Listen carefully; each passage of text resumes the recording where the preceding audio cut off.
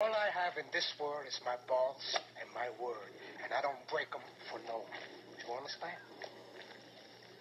That piece of shit up there, I never like him. I never trusted him.